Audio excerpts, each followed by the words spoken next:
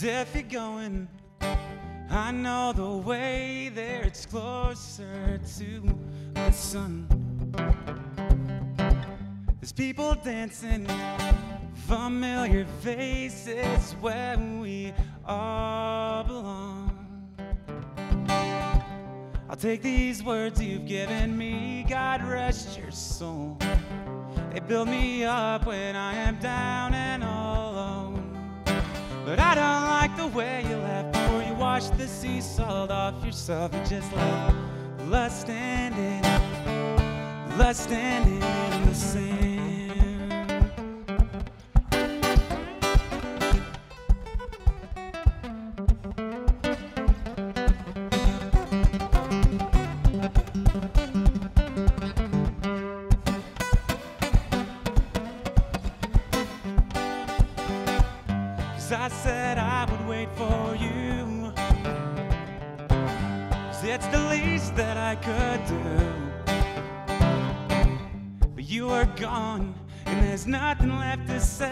Yes, you always were that way.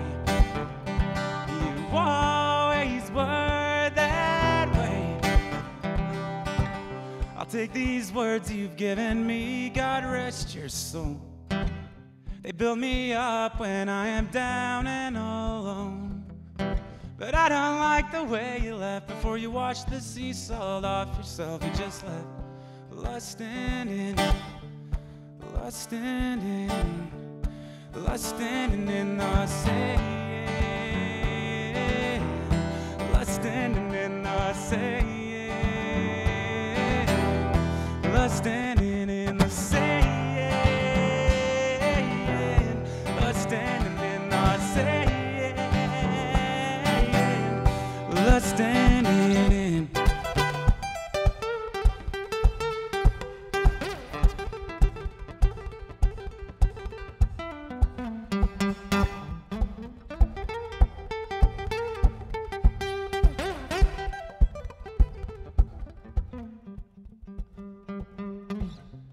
take these words you've given me, God rest your soul.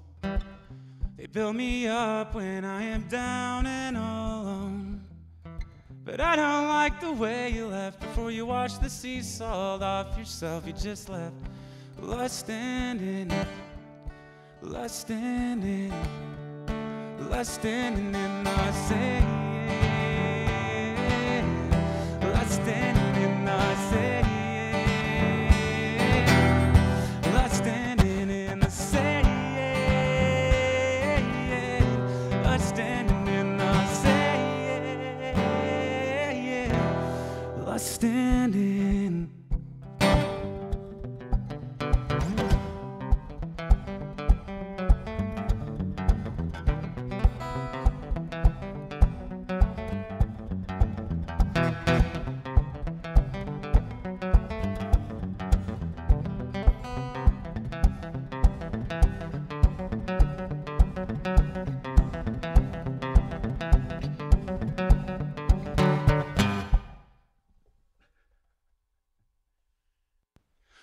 All right, thank you guys for tuning in. My name is Dustin Prinz. I am here with jamplay.com. I am uh, grateful that they asked me to come on and, and play some of my tunes for you guys live. So, yes, I am actually grabbing my face right now and squeezing it at this very moment. It's kind of awkward, but so I'm going to play tunes off of uh, my entire discography. That was a tune called Snow Day. It's off of my latest record entitled 11. So um, I'm excited to share my music with you. Won't be any cover songs today, just strictly original. And then I'm out of breath from singing that. You guys can uh, feel free to send questions in, anything. Like a- ask me questions about gear and uh, songs or anything. So after after a 45 minute set, what I'm going to do is probably go through my gear for about 15 minutes, and then I'm going to go over uh, a broad spectrum analysis of my jam play lessons here. I've, I've got this series called Parapicking for Knuckleheads. and uh, I'm just going to go through a brief explanation of, of all the videos that are, that are in that series. I think there's like 26 some videos or something. So, but yeah, it's an honor for me to be here. I'm, uh, I've been doing this singer-songwriter thing now. You know, it's, it's my life, and I've been doing it for probably three, three or four years. I, I travel, play music, and um, I hope you guys sincerely enjoy what I do. And I think that uh, covers covers me. Uh, I guess parapicking is uh, is kind of what what I what I dub th this style that I play in. I, I play the, the acoustic guitar as if it were electric. I, am not entirely a clean player. That's kind of the point. But um, parapicking is kind of the concept of percussion uh, while using a pick. Okay, so. Uh, parad- I got I got the idea from paradiddles like one one one two one one two one two two one two one one two one two two, and I try to incorporate rhythms within appreciated passages of, of chord progressions or keep a quarter note beat or a four to the floor beat while I'm doing a solo, like in the solos that I just played in uh, the previous song called Snow Day. I, I, feel like it keeps backbone, it keeps drive to to the songs, and and um, I just started I started rolling with that idea when uh, in 2009 when I I cut my first record and uh, there was you know there was percussion and stuff on it and i was like how in the world am i gonna you know fill these songs out? Because if i'm just if i'm just strumming chords it's not quite the same especially with the solos there isn't that beat you know?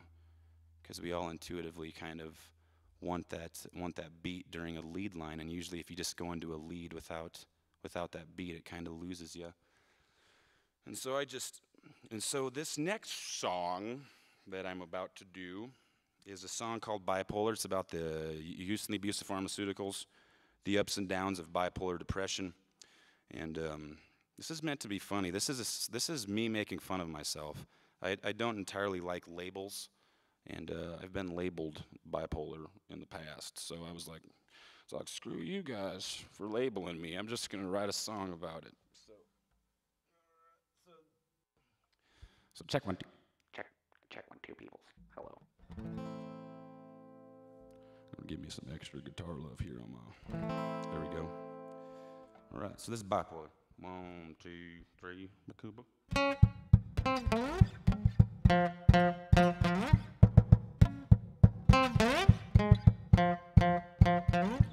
I wish I had more serotonin in my brain, then maybe I'd feel less insane from time to time.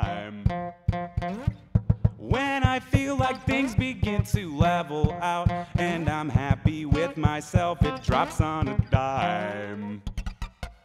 Bipolar, bipolar, bipolar, bipolar, bipolar. I'm waiting to crash cause once I'm on the up and I'm driving fast. Bipolar, bipolar, bipolar, bipolar, bipolar. I'm waiting to crash cause once I'm on the up and I'm driving fast. I've gone to the doctor, I've taken medication, but it makes me feel so much worse.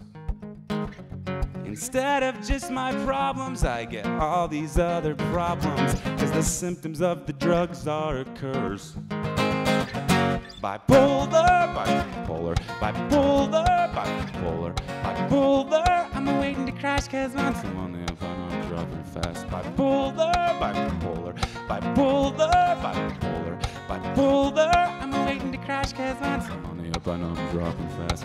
It don't it don't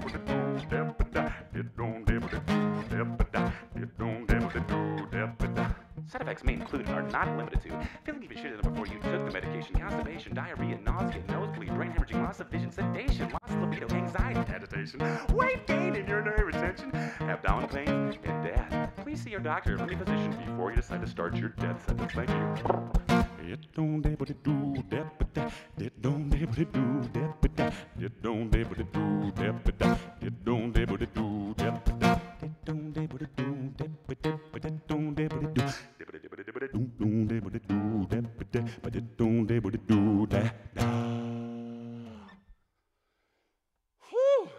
You know, I'm in Colorado right now. I'm not gonna. I'm not gonna tell you the exact location where I'm at.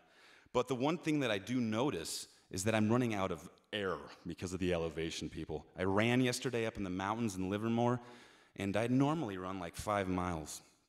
And I think I ran like a mile and a half, and I was like, dude, something, something's awfully wrong here. I think I lost one of my lungs or something.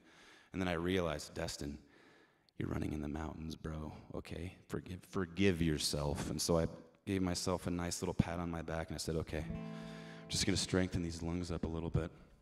So I don't, I don't know where I'm rolling with that, but, but yeah, guys, um, that was called Bipolar. That's on my first record. And there's probably reverb on my voice right now, so it sounds like I'm in the back of a cave, but that's okay. We're going to go with it.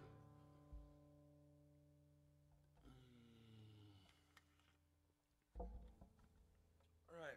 This next one is a, is a tune called Let Her Go. When you are, um,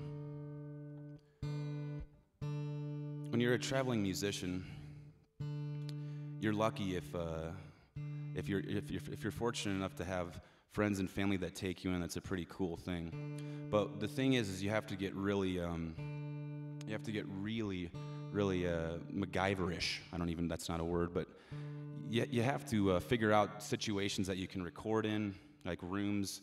And sometimes, if you're staying at an apartment, for instance, it's not exactly the, the most suitable of situations to record because you're going to be disturbing your neighbors. And while I was in Oklahoma a while back, I wanted to record this song for my first record. And uh, I didn't have the luxury of, of a microphone booth, of a vocal booth to sing in. And so I went into the garage and I was like, Jeremy, which is my brother, I was like, can I use your car as a vocal booth? So I set up some microphones, or actually, I just handed or held the microphones in the back seat of his car. And I sang the vocals for this song and tracked this song in the back seat of a Mustang, a Ford Mustang. So if you can imagine how small the back seat is. So it's called Let Her Go.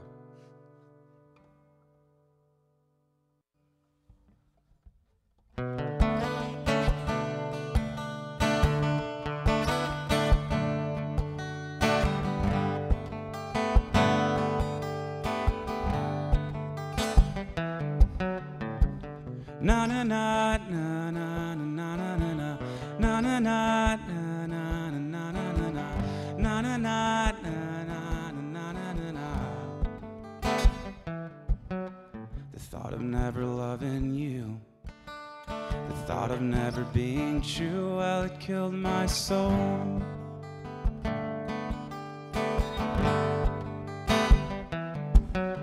The thought of never loving you, the thought of never being true, well, it killed my soul. Well, it killed my soul. If you don't love her, then leave her, there's no time to kill. You're making her hold on until you know what to feel.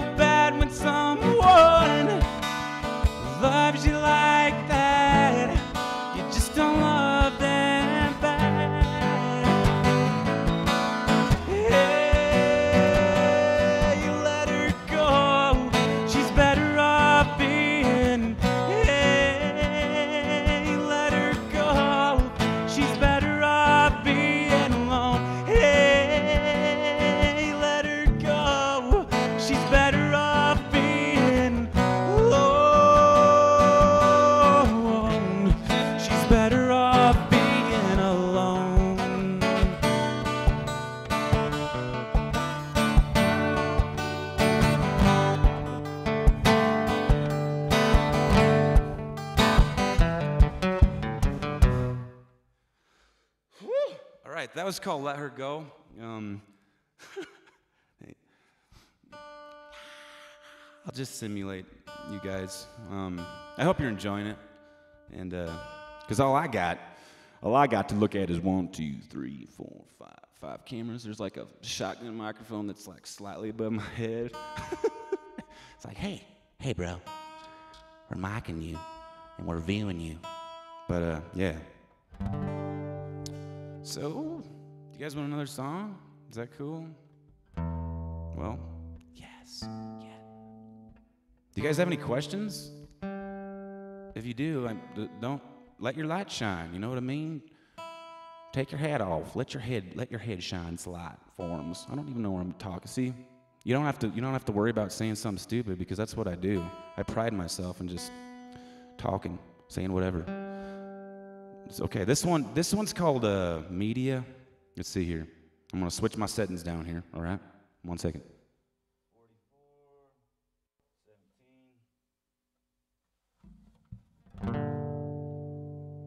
I've got some female vocals sampled to my RC300 loop station down here.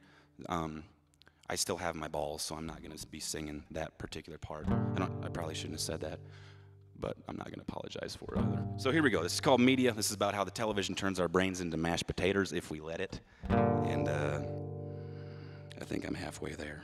Here we go. Media.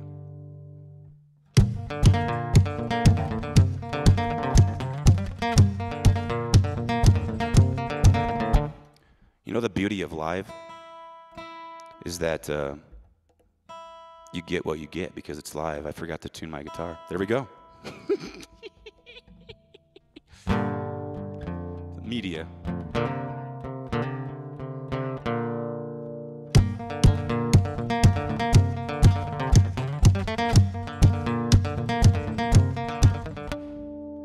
We're shown less than half what is known. Fabricated, propagated, all vying for control. There's really no way to know what's the truth or if it's just another cover up. Tick tock, tick tock, your mind is made up on the spot. It's just a matter of time before we're all inclined to buy into the headlines. It's tick tock, tick tock, your mind is made up on the spot. It's just a matter of time before we're all inclined to buy into the advertisement media, media, media. Listening to the media, media, media. While they're feeding you the media, media, media. Yeah, to let you know the media, media, media. They be what they want you to. La da da da da. La da da da da. We think we make our own decisions. Our choices are limited to what we've been given.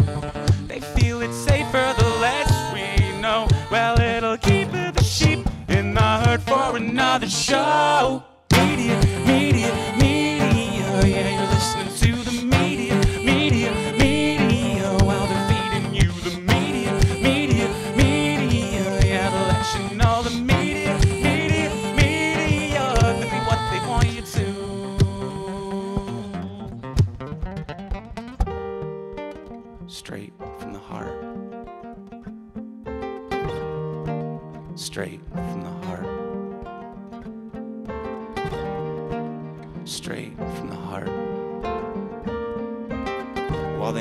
Sound straight from the heart. Make it sound straight, straight, straight from the heart. Enough to have you from the start. Well, they make it sound straight, straight, straight from the heart. They make it sound straight, straight, straight from the heart. Enough to have you from the start. Well, they make it sound straight, straight, straight from the heart. They make it sound straight, straight, straight from the heart. Enough to have you from the start. Well, they straight, straight, from the heart. They make it sound straight, straight, straight from the heart. Enough to have you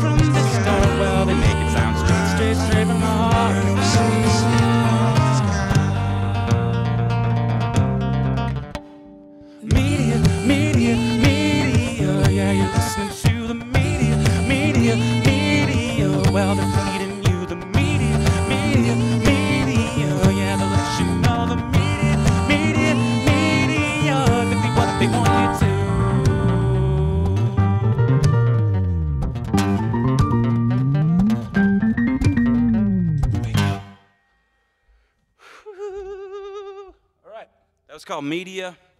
That's um, that one's on my second record.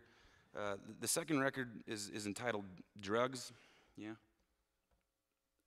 Pretty clever, I suppose.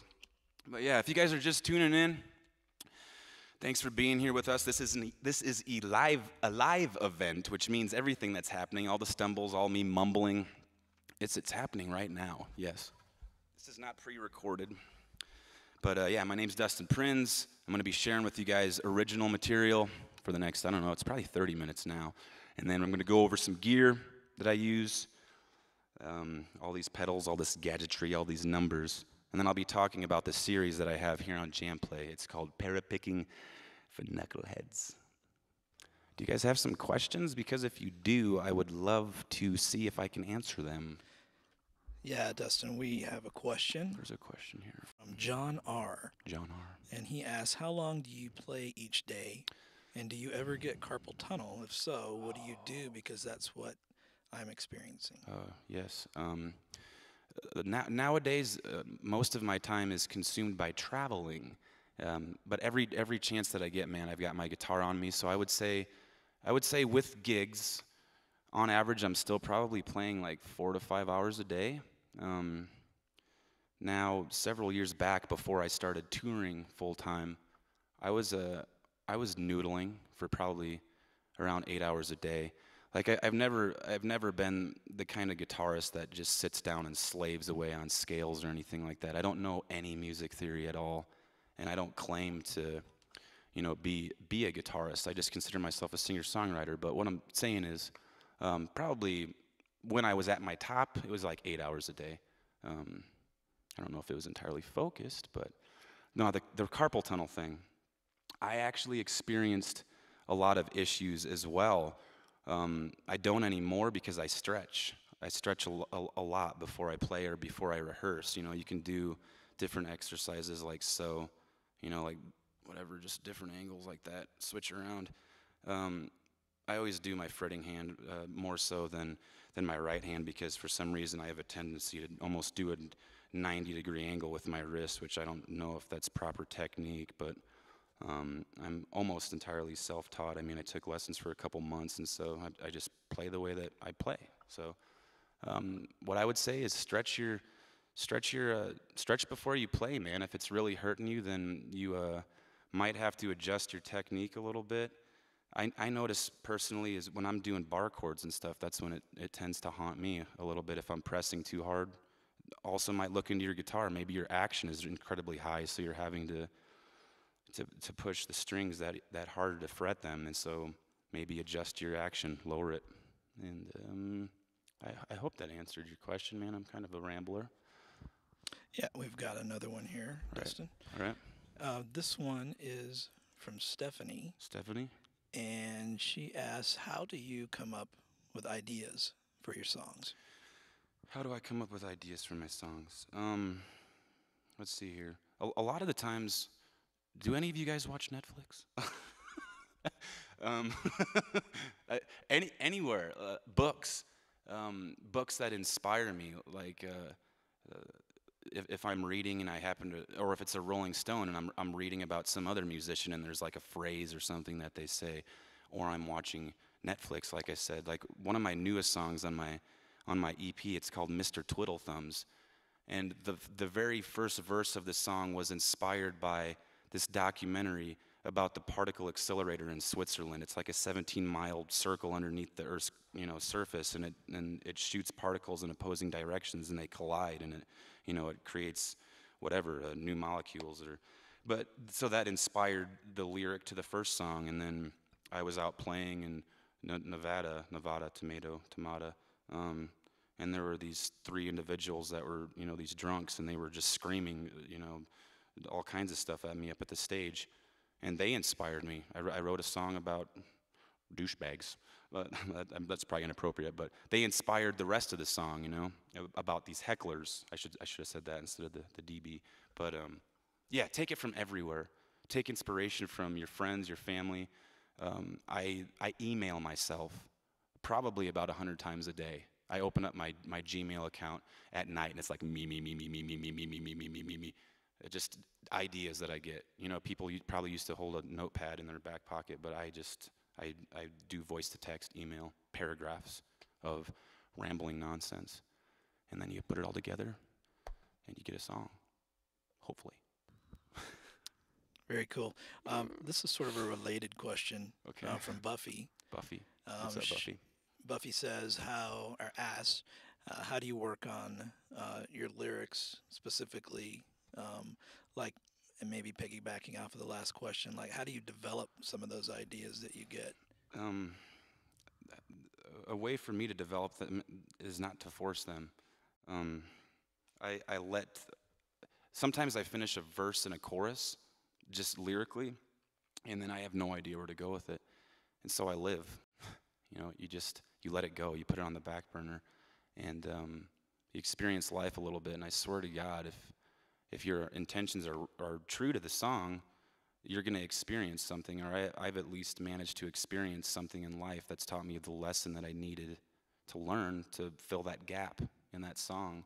So I just kind of let life and, and friends and family and everything write a lot of the material for me. I feel like if you if you have a, a song in the back of your mind and you and you have almost all of it finished, but it's just sitting in the back there, and you're recording. I mean, we're constantly recording everything. Right now, I'm making memories, you're making memories.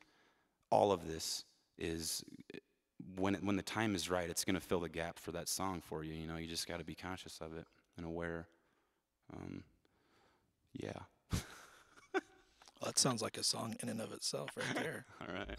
I think that's all the questions we got right now. Okay. Um, so if you want to play another song, that'd be great. Cool. I'm going to play. Um, do they hear? Do they hear you when you're talking back, Chris? Yes. Or is that okay? Yes, they're, they're hearing me. okay, because I'm like, I'm like, am I just hearing you in my headpiece or in my big dome cans? Okay, this is all new to me, people. This is a this is my first time here at Jam Play doing a live event, so this is awesome. Thanks for having me. And real quick before you do play another song, yeah, and sounds great by the way. Thank you. Um, uh, just to to kind of expand on that last question a little bit, could you talk a little bit how you come up with your melodies? Mumbles. Um, yeah, that's I. A lot of the times the the riffage, the riffage that comes first, and then I record it, um, get the whole get the foundation laid out, and then I I play it back. Yeah, um, I, I separate myself from it because if you're trying to play a riff that you just came up with, a lot of your attention, a lot of your mind juice is, is you know, focusing on that. And so it, it takes away a lot of your creativity because you're having to focus on something. So I record it. I just get it out there and I play it back. And then uh, I mumble and I, I go, and, you know, just be, I guess the key is to have fun. So I do that and, and just kind of experiment with tons of different melodies. If I happen to get something that I like, then I record that. Uh, you know, if you do that for 15 or 20 minutes, you're going to have a handful of different, you know, different shifts with notes and stuff. And then you you look at it and you go, okay, well, statistically speaking, I have 30 different melodies recorded now. There's at least got to be one of them that doesn't suck. And so you pick that one and you go with it, and then you put some words over the top of it. If you want to sing about tennis shoes, then a good friend of mine, Justin, taught me that just sing about whatever comes to mind first. Just have fun with it. Make the goofiest lyrics over the top, okay? And that helps to create the melody. And then if you want to swap those lyrics out later, you can, but you don't have to feel so pressured to come up with something amazing right on the spot because that's going to cock block your creativity, you know, for lack of a better term. So just have fun with it, come up with weird, crazy words if it's a serious song, who cares? Still come up with weird, crazy words. It's going to help you to create the melody and the lyrics, and then fill in the gaps, replace the words later on. Sometimes it takes me months to finish a song, and that's okay. Uh, the longer it takes you to finish a song, the closer it is to you, the more it is you, you know, because it's, it's been hanging out with you for a few years maybe. So it's all you. Yeah, yeah, yeah, yeah yeah, yeah. Another song here. For this one, this one's called You'll Answer When She Calls.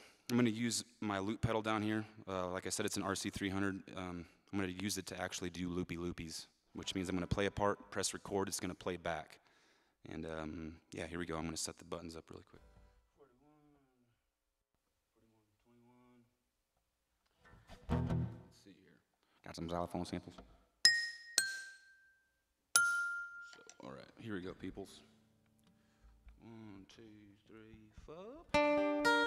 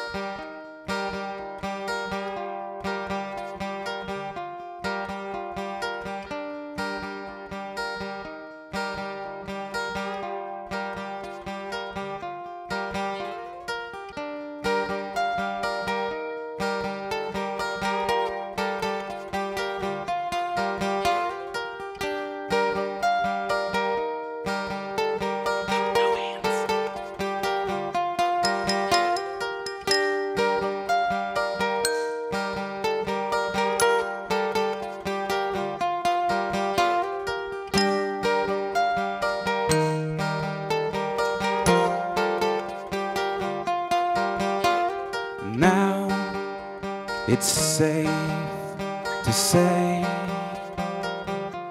it's best we went on separate ways.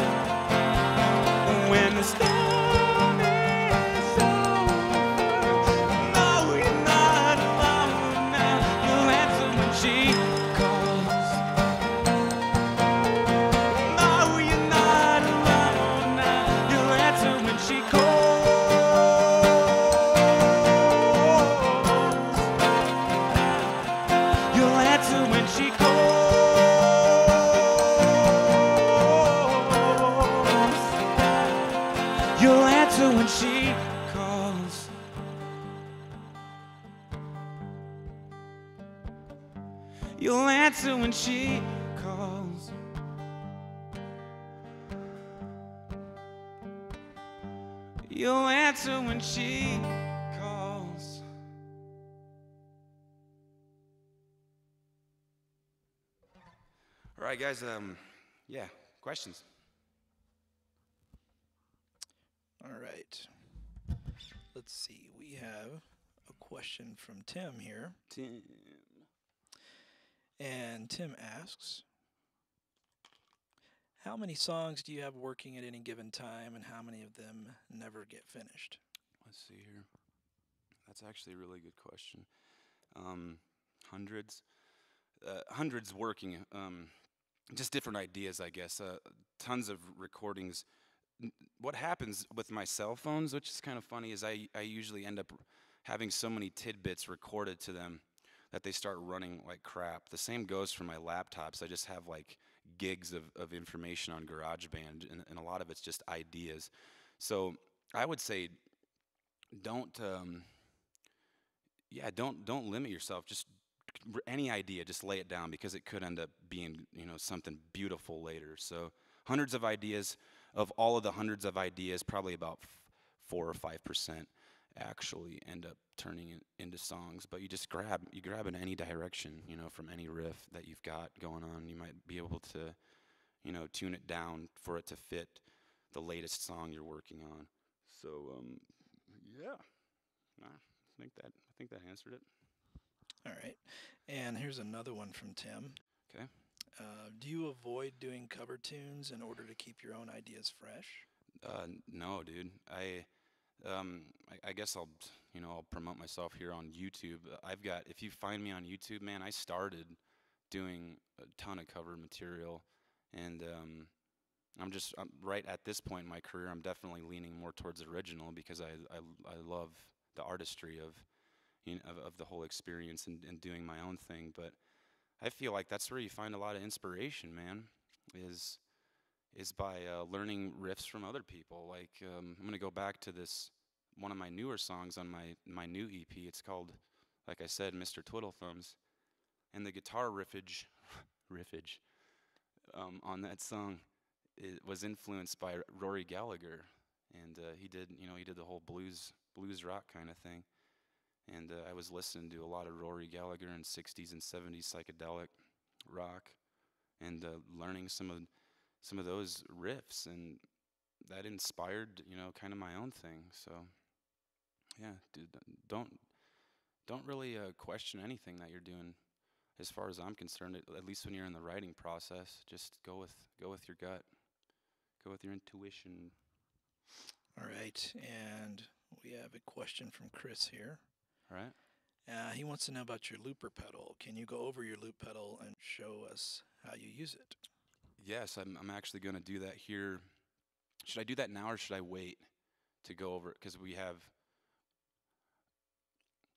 we're going to do that in a little bit. After i'm done performing all my songs I'll, i'm actually going to go through my entire gear rig for like 15 minutes and explain to you guys the gear that i use everything down to the strings and the routing on my mixer and my and my board and everything with the excessive amount of freaking microphones up here i'm going to actually explain to you what all of them are doing so stick around for that Well, great. Well, I, I think that's uh, the questions we have for now. So if you want to do another tune, that'd be great. Cool. That's. Uh, I'm gonna tune tune my guitar up really quick here. I haven't played this one in a while, so we'll see how it goes. But I suppose that's the beauty of live, you know, as you guys are. You guys are gonna catch it all, all raw if if it be. This is um. This one's called Missing Person. And I don't like the way that, that the tone of this sounds yet, so give me one bit to tune it. Missing Person, it's on my, uh, this was on my first record entitled Learning to Love Yourself. And uh, when I originally recorded this, I used Reason 3.0 software. I don't know if any of you guys out there are familiar with that in interwebs land.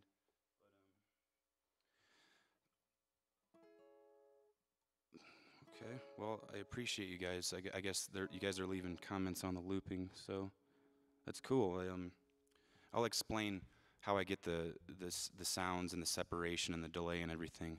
Each one of my songs has a different different scene, which means on I'm I, I'm gonna leave you hanging. I'm gonna actually I'll explain it here in a little bit. Sorry. So the, this one's called Missing Person. Um, like I said, I haven't played it in a while. We'll see how it goes. I might stop literally halfway through it and just be like, eh, bleh, next song, as Jack Black would put it. This is Gotta remember it. I'm taking my time, so don't hold your breath. You can walk out of here with no regrets. I'm loving you, cause you're not loving me. Being with you is like a cigarette. Well, it burns me out till there's nothing left. All I'm left with is your awful scent. You're a missing person. When you lost it all, your feelings can't be bought. Missing person. Take your time and see what you truly want. Missing person. When you lost it all, your feelings can't be bought. Missing person. Taking my time, so don't hold your breath. You can walk out of here with no regrets. I'm loving you, cause you're not loving me. Being with you is like a cigarette. Well, it burns me out till there's nothing left. All I'm left with is your awful scent. You're a missing person. When you lost it all, your feelings can't be bought. Missing person. Take your time and see what you truly want. Missing person. When you lost it all, your feelings can't be bought. Missing person.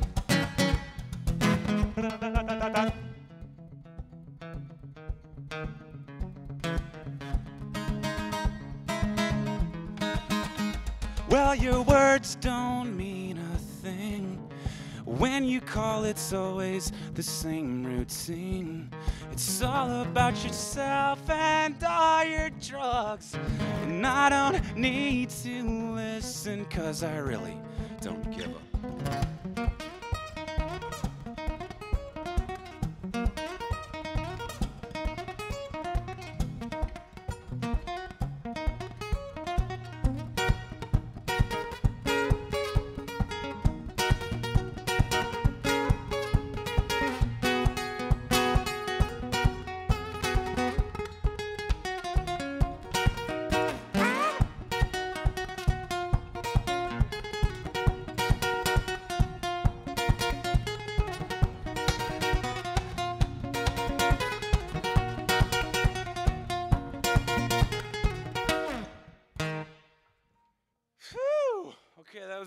Missing Person. I was, uh, I was hoping I wasn't gonna break a string on that one. It's like, ah, just going bounce to the wall. I don't care where this is going. So, um, all right, y'all. Give me, give me a second tune. It's called the tune in the song, bro, dude, bro. Um, I, I suppose I'll do another one. If that's cool. Unless there's, is there questions? Turn this off real quick. Yeah, we do have one question real quick while you're. All right, one that. question. Cool. It's from Stephanie. Stephanie? Uh, have you met any interesting people in your travels? Let's see here. Interesting people in my travels. Yeah, on, on occasion, you know, um, in, interesting people and interesting situations. W- one in particular was uh, I won't say her last name. Her name was her name was Lindsay, but she was a she was a dancing fiend, and I I ran into her at the at the White Horse venue in um, in Austin. And um, this is more kind of an experience and not necessarily an interesting people thing, but I don't dance at all. I'm absolutely terrified of it. You know, all, all I can do is just like headbang because I'm like a '90s alternative kind of kind of guy. But uh, th- this was just an experience. I ran into this chick. I was standing alongside the dance floor, and she forced me, uh, just ran up to me and forced me out there, and I nearly started bawling because I was absolutely so terrified. And you know, there's been a few experiences like that where uh, when I'm when I'm traveling out and I'm constantly around new new people all the time, uh, you you get thrown into situations that you're incredibly uncomfortable with, and uh, you got to go with it. So another another one is hecklers sometimes as well. So those are always interesting situations. But I don't I don't think I answered your question. So this is good. Keep rolling. but um, yeah. So we good for next song? All right. Oh, another question. Yes. Shoot. All right, got it here. Just one second. All right, this is from Bergie. Do you have any artists that you would consider as a major inspiration for yourself? Yes. Um, just off the top of my head, Beck. Um, I was so excited when he when he actually won a Grammy. Uh, he wholeheartedly deserves it. He's he's been an artist ever since he first started, you know, releasing records. Um, him, and then Thom Yorke from Radiohead. Um, he released a solo record called The Eraser way back. I think it was around 2006 or something. But uh, it influenced me to completely shift gears with my life. Uh, music influences me. It, it, I literally, I attach it. I, th- I think all of us do. We at- we attach certain songs or certain artists to you know experiences that we have in our life. But that record changed me so much that I got the artwork you know on my arm to remind me the of the the light bulb moment you know that I had while I was listening to a particular song off that record. It's called Black Swan on the Eraser by Thom Yorke. But uh, um, yeah, he's a, he's a he's he's a huge influence. Um, here's a one that goes way back. Travis Meeks from Days of the New. I don't know if you guys remember that group, but um, I absolutely loved his playing style. He used a pick, and he played the acoustic like a total badass. Like he played it like, as far as I was concerned at the time, th- he played it like it, it was an electric. You know, he was uh, great at lead lines and stuff, and so that influenced me when I was like, I think I was like 14 or 15 years old, and when I first heard, it was the record with like Touch, Peel, and Stand, and and um, and that on it, and then and then I heard Enemy and stuff. I was like, oh, awesome. Metallica is another huge influence. Blink 182, it's random ones, not necessarily acoustic players. I don't, I don't, I don't listen to all that much singer songwriter stuff. Um, not really into it. I'm into rock, alternative, and uh, yeah, the weirdness. Okay. And we have a very serious question from Gary here. Very serious question. Um, Gary wants to know Do you spend a lot of your time convincing people that you're not a pirate? Dude, um, yeah. if I were to let my if I were to let my hair down, it would be like ten times as difficult to try to convince them I'm not. So, because and, and I do that on occasion. I let my my hair down when I'm playing live, and I think it creeps people out. But but uh, yeah. Um, I'm gonna probably start wearing an eye patch now. Thank you for the idea.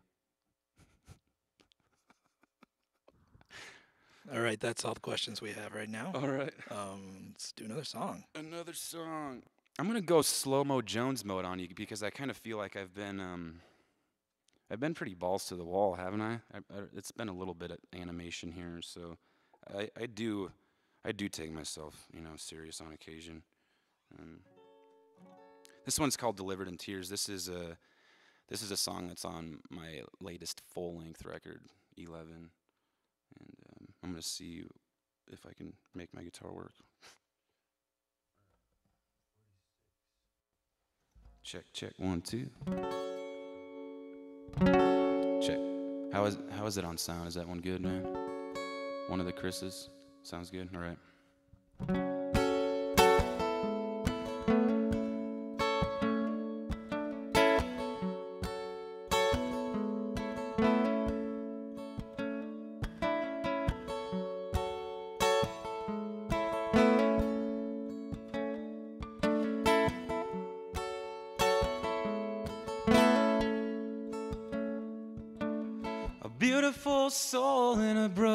Broken shell. Recycled hopes feeling every cell. Losing time through another drink. To separate yourself from the feelings. Fill your heart full of love. Cause there's more than enough in this world.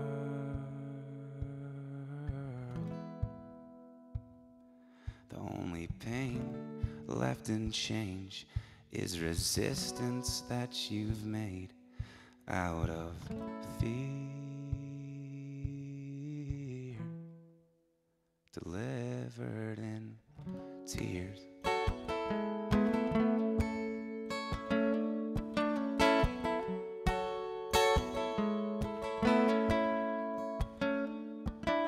You back yourself into a tight place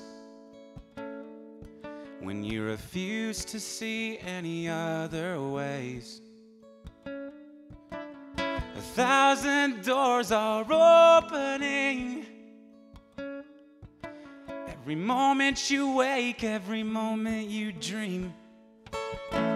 So fill your heart full of love, cause there's more than enough in this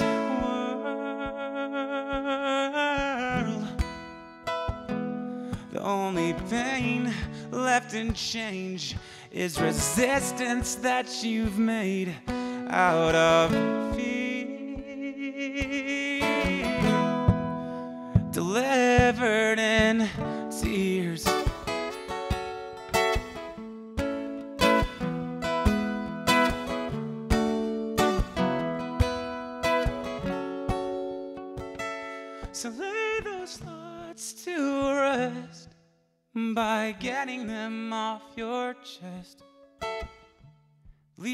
That troubled mind behind. So lay those thoughts to rest by getting them off your chest. Leave that troubled mind behind.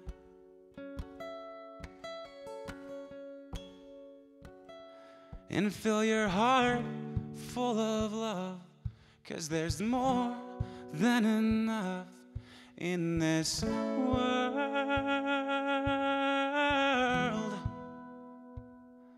The only pain left in change is resistance that you've made out of fear. Delivered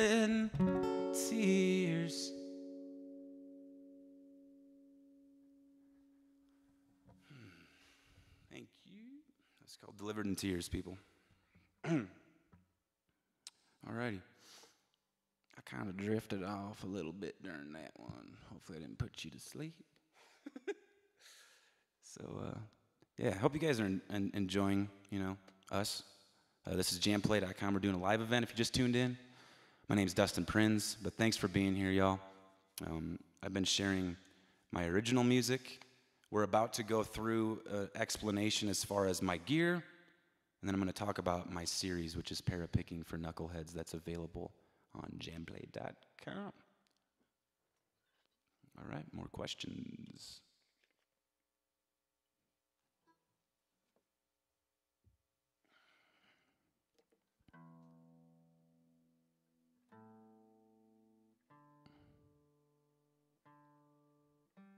All right, we're gonna we're gonna answer a few questions here really quick before we get rolling into the next song. All right. Here we have a question from Bergie. Was guitar, uh, percussion, drumming while picking something that came easy to you, or was there some songs that you used to try and figure it out? Um, no, I, I really don't feel like it necessarily did come easy. I just um, I'm gonna switch this effect really quick because I right now I'm in a cave like off of this hall verb. Um, no, it, it, it definitely. Uh, I finished a record and there was, like I said, there was there was at least sampled snare sounds and sampled kick drum sounds, and so I was like, I need to figure out how to, you know, implement that into into my live show, and it was just something like like um, it wasn't something I, that I felt like I needed to focus on 24/7 to the point where I couldn't play live until I got this you know technique under my fingers. I just slowly started letting it ease its way into one song, two songs, three songs, you know, and I was I was con, you know continually out playing what, whatever shows that I, I could do. And in 2009 I was doing open mics, I was doing all kinds of stuff, and um, it just kind of you know it kind of creeps up on you when you when you just at least keep touching base on on something. I, n- I never let technique rule um, what what I'm doing. Like I'm not I, I've never focused on just waking up and just like practicing like I said scales all day or anything like that because I'm sorry, but um, that's that's ego driven. I, I don't I prefer to not take the ego driven approach to my music. I prefer to just be natural about it and do it more f- so for the fact of it you know it heals people you know like the music that i listen to i feel like it's uh, it's um more of a, a healing process instead of hey look at me. Look at me flash dance with these little mc hammer pants on. Um, it's not a show off session.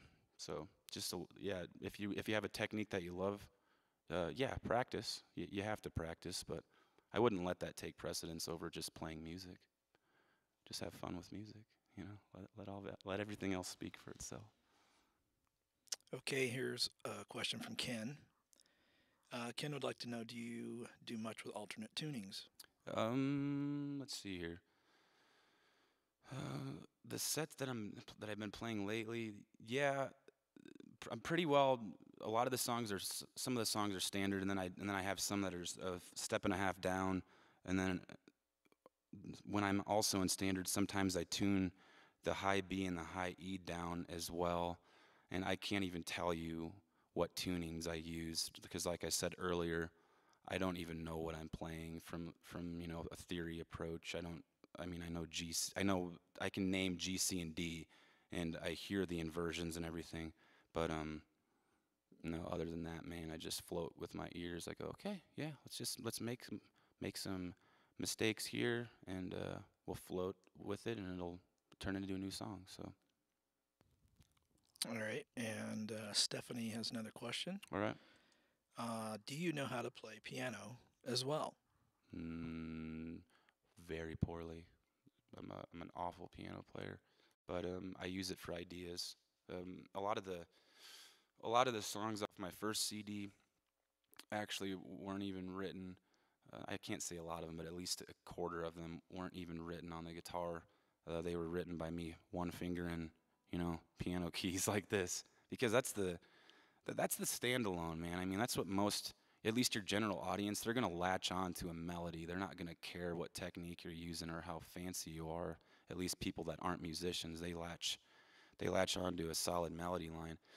And sometimes the easiest way for me to come up with a melody is to just sit in front of my little MIDI controller with my laptop, you know, and I'm running like either GarageBand or like Reason software, and you just kind of hum along and since I can't play chords or anything on the piano, I just do like one note at a time until I until I come up with uh, with ideas. And um, there's no pressure for me to do it that way because I'm I don't I'm not a piano player. It's like if you pick up the guitar. Sometimes if you know if you're like I'm a guitarist, I should be able to come up with something good. You're you're already putting yourself in a mindset that you're putting pressure on yourself to create. So pick up an instrument that you that it's you know it's not your main instrument because it, it takes all the pressure off. So that's what I use the piano for. It's the it's the instrument to sometimes to write because it's no pressure. So, but I'm I'm an awful piano player. Do you guys want a fast one or a slow one? All right, we're gonna do we're gonna do one huge fast one and then a slow one. This one is a. This one's called "Angry Breakup Song," and uh, it's not even angry. It's like a, it's honestly like a jolly breakup song. So I'm not entirely sure why why I named it that, but.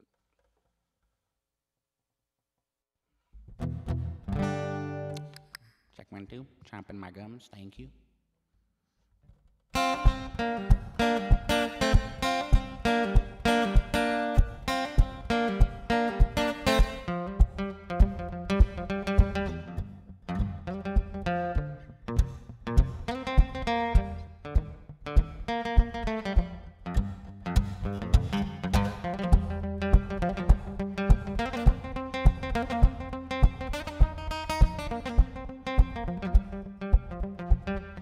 There's no telling where you've been and I ain't settling for this. Now I'm not going down that road again. Cause there's no telling where you've been or how many friends that you've let in. Well, I'm not going down that road again. Pack your bags and go. Cause I'm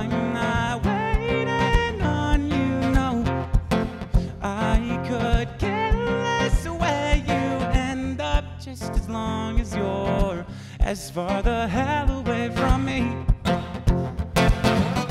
As far the hell away from me as you can be.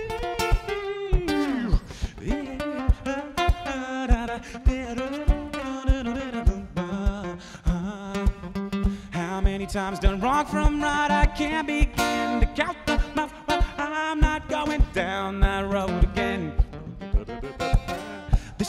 simple, not tonight. Well, maybe just one last time.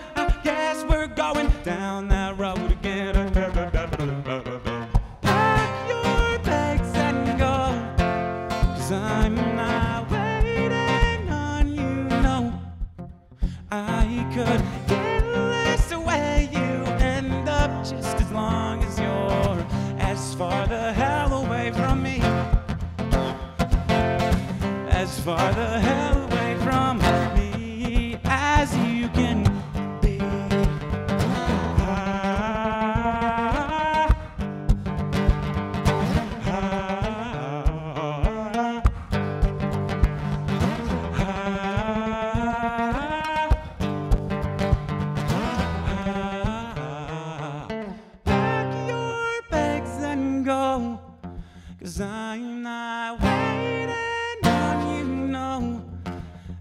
I could careless where you end up just as long as you're as far the hell away from me.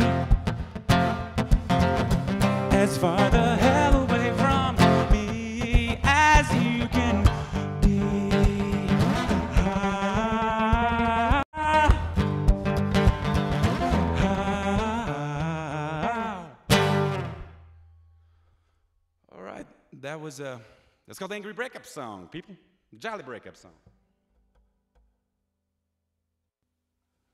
Okay, one more song, people, and then we're gonna we're gonna do some questions here, and then uh, um, yeah, talk about some gear. Let's see here. So we got like five minutes at least to do a song, because I might do an incredibly goofy one. Okay, this one's called uh, this one's called U plus me equals drugs. It might be a total mess. I have not played it in a really long time, but we're gonna go with it and see how it feels. Okay, here we go.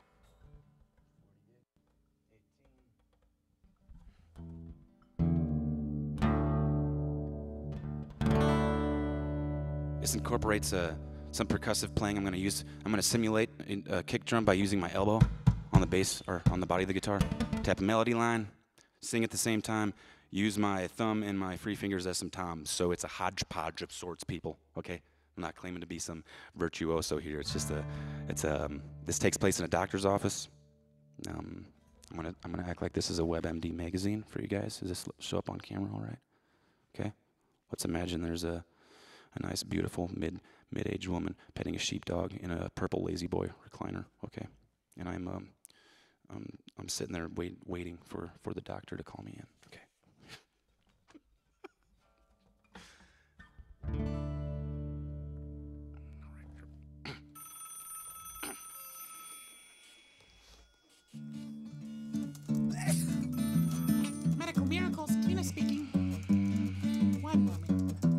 Once upon a time, I found myself in a waiting room, waiting. As a man with moody tendencies, I wasn't happy being unhappy. So I doctor hopped for a few years. My results? Inconclusive.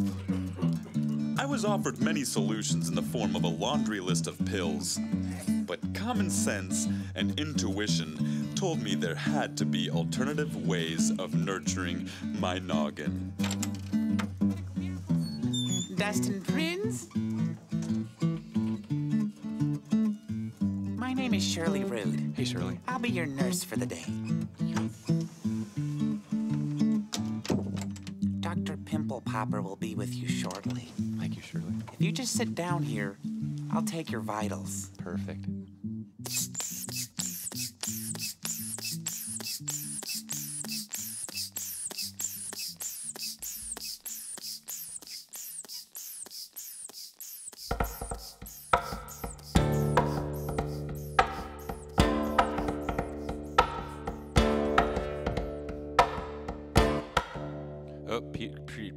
Cutting out. Live. It's live, people. This thing might stop playing for us. We'll just see how it goes.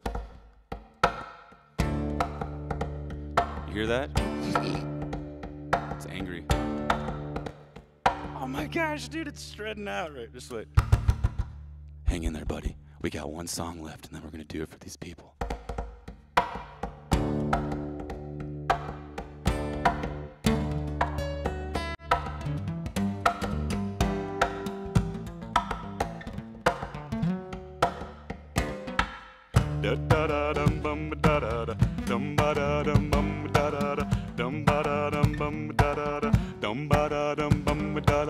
We'll have you back in a few weeks for a follow up to see if we should change the dosage or try something new to help you get on those two feet again.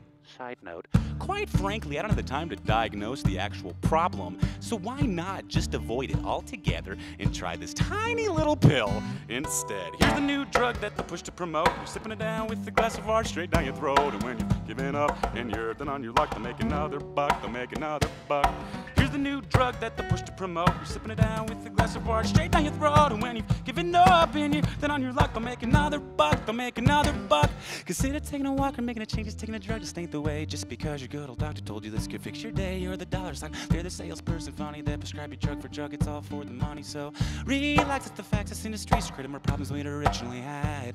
Because problems demand reinventing the same drug a million times to help with all the symptoms that eventually will arise. Here's the new drug that they push to promote. Sipping it down with a glass of water straight down your throat, and when you're giving up and you're then on your luck, to make another buck, to make another buck.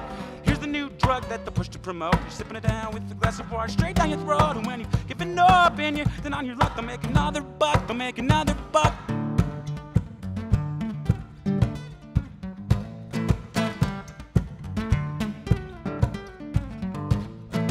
D R U G that spells drugs. Dip dip Drugs. P R U G. Yes, yes, that spells drugs. Drugs.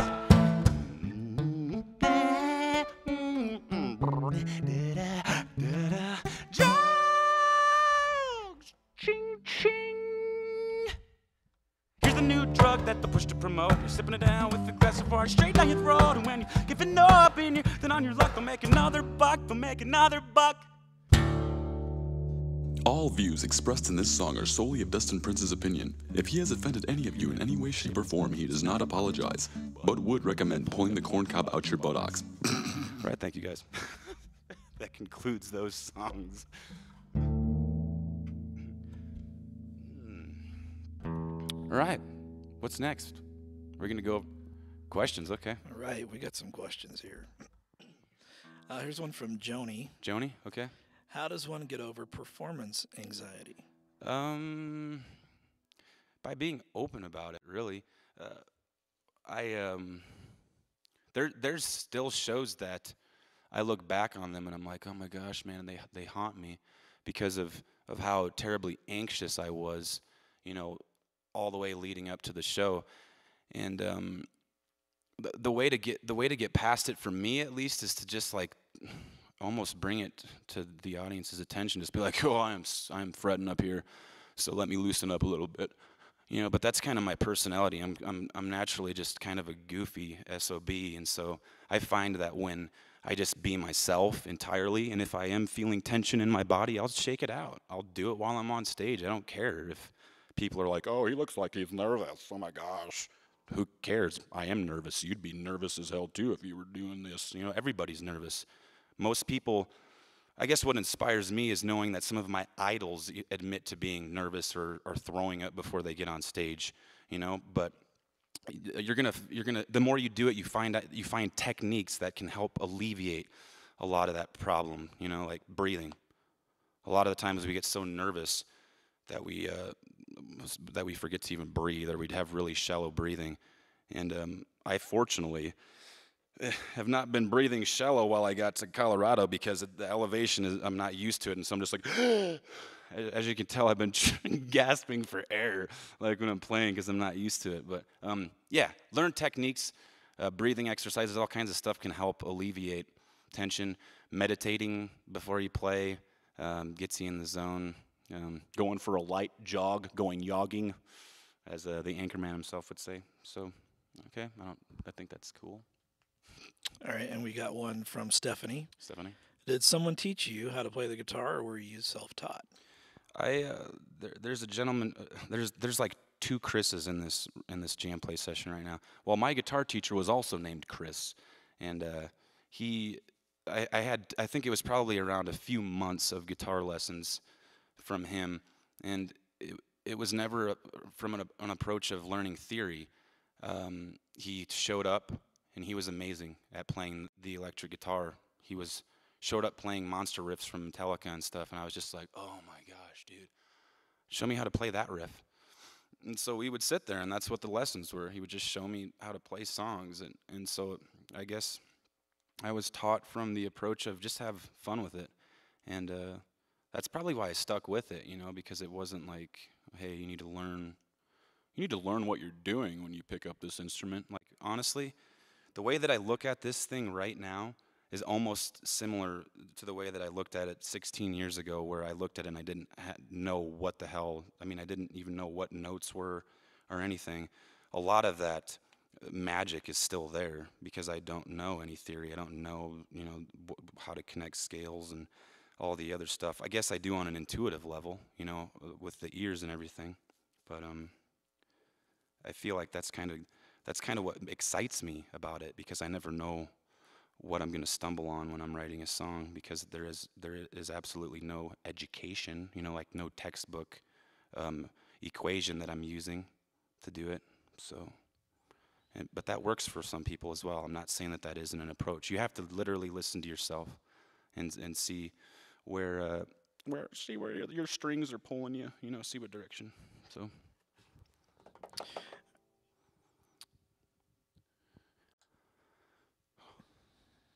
Cool. Okay. All right, we have a question that's going to be uh, kind of tied into you talking about some of your gear here. Cool. That's from Emilio. All right. And the question is, what sort of mic D slash DI setups do you use to bring out the percussion? Um, what's actually cool about th- I, that's a good question, man. I don't I don't buy anything. Um, there isn't any cu- custom preamp or anything in this. This is just the preamp that comes standard with with this guitar. This is a Cort NDX50, um, relatively inexpensive guitar, but sounds amazing. I mean, I love the way that it sounds. I love the way that it plays. It's a great road guitar for me. Um, they, they come standard with this Fishman Presys blend. And so I've got bass, uh, mid, treble. I also have a phase, and then I've got a notch filter. There's a there's a pickup that's underneath the bridge, um, piezo, piezo, however you pronounce. I I never knew how to pronounce that shit, but so that's that's stationed under here, and then there's as you can see, maybe you can't see, but whatever. I popped this open, and there is a little micro there's a little microphone that is attached underneath the preamp. And so the combination of that little mic as well as this this um, magnetic pickup underneath the bridge, that's all I've got inside the guitar that's picking up the percussion and everything else. I mean, I found that I didn't I personally didn't really need to complicate it any more than that because I already have I already have enough to worry about with this loop station and all the settings on on this mixer. So I'm not. I, I originally didn't start off as much of a gear guy, but then this, you know, this stuff kind of just added up, and now all of a sudden it's like I feel like I'm eating microphones all day. so, I guess uh, that kind of is going to segue us into. Um, I'm going to talk about the rest of my gear. So, uh, all the way down to the tuner, I got myself a, a little I think you know the tuner that you hook on the headstock for to sense the vibration, which is cool. Um, strings that I'm using, I uh, I have some. Uh, let's see here, what what strings am I using? I'll get back to those. But like I said, Cort NDX50, uh, Fishman preamps. Down here, can we lean down to? Is that possible for us to lean down to the floor? Awesome, possum, bro. I'm gonna I'm gonna disconnect this guitar. So I'm gonna take this microphone off as well so I can talk through it. Or is- yeah, because that other microphone, the other mic, it probably isn't on. You got you got me on that one. Aw, sweet. Okay. So what we got? Can I get this one in my cans though, dude? Because I can't hear myself through the. Or I could, yeah. Um. So what we got down here is a Presonus 1602 digital mixer. Perfect. I just got the sound in my headphones. Thank you. And this is my main microphone. So this this microphone with the blue cable up here um, is connected to channel one. Channel two is my auxiliary or my secondary microphone, which is uh, an affected microphone. I use that for a radio sound or a, a multi, multiple delay with a long haul reverb. Okay, uh, channel channel three nothing. Channel four is my acoustic guitar that routes into here. Um, first, I'll go into at least all the inputs that go into this board. Channel five nothing or channel five actually is this drum pad over here. Uh, I use that to sample xylophone samples. Um, sometimes I play three hour sets, and so I, I have a ton of original material as well as cover songs. Sometimes I sample drums off of here, so that goes directly into channel five. Channel six is a is normally a bass guitar, and now we've uh, seven, eight, and nine inputs all come from this RC300 loop station. So we've got phrase one, phrase two, and track three. So pretty well, what this means is I can record ideas onto each one of these and turn them off or turn them on to create space within a song, like a chorus, a verse. Uh, let's say there's a bridge that I can record to track three. Track one goes into seven, like I said. Track two goes into eight. Track three goes into nine.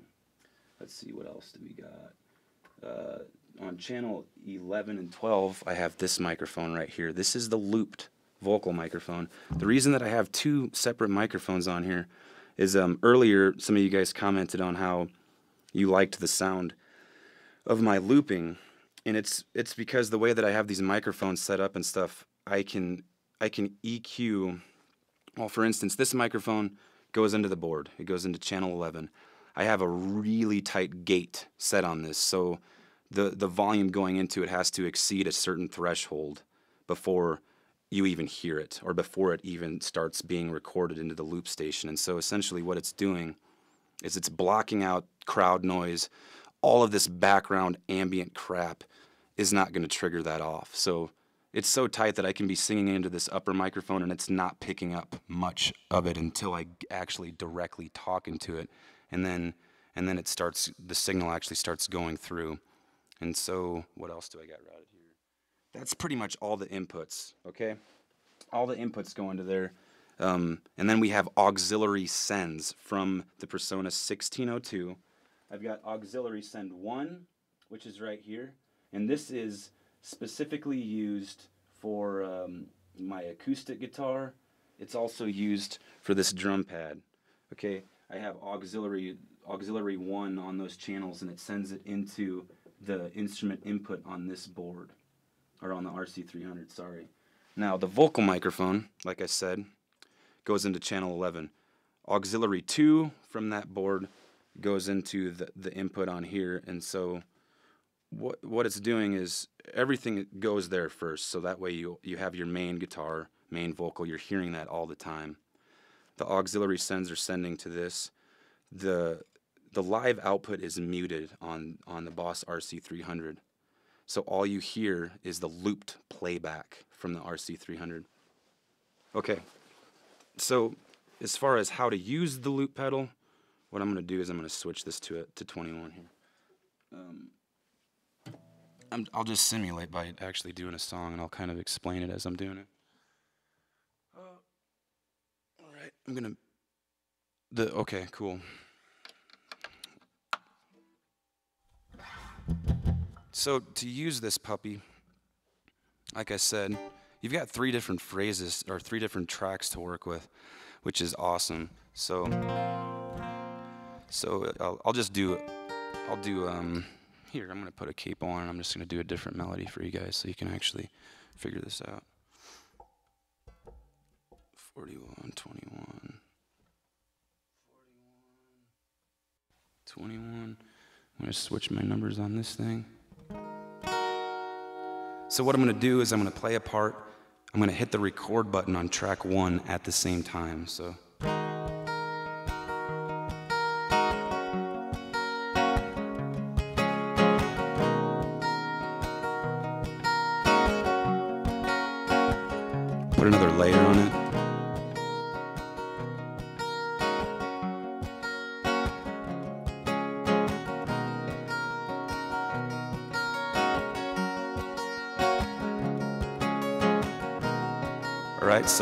I laid down the rhythm there. I laid down an arpeggiated version of the same chord on track two. Um, let's see here. I'm just gonna throw some bells and I'm gonna throw throw this xylophone sample onto track three.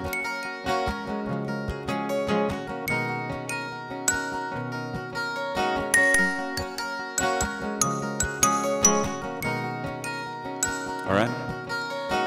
So now you have, can work with any of those. You can turn that one back on. You can turn the arpeggiated one off.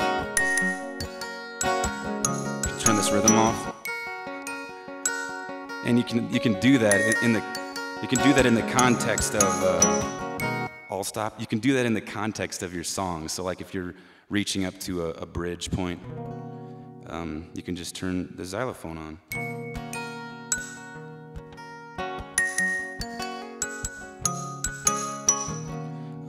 What's cool about the RC300 is you also have effects that are built into it.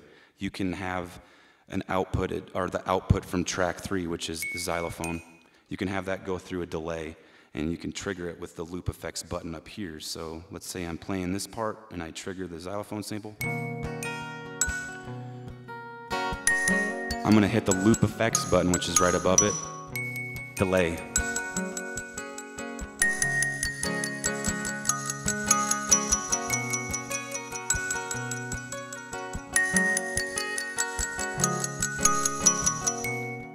You know, it's all stuff that you discover if you just um, dig through the manuals, really. So lo- lots of reading, um, but it's it's fun. You know, it's it's fun if you really want it to be. Um, each there's a ton of different memory memory sets on the Bar- Boss RC300 as well. I'm going to switch this mic again. So what you can do is you can save each one of those patches for each song. For like for instance, for that particular song, I had uh, track one. All the volumes are set to that song. Track two, track three is also set to that. Track three I have set so it corresponds to the loop effects. So pretty much, if I turn that delay on, it's only going to affect track number three. It's not. It's going to affect the xylophone.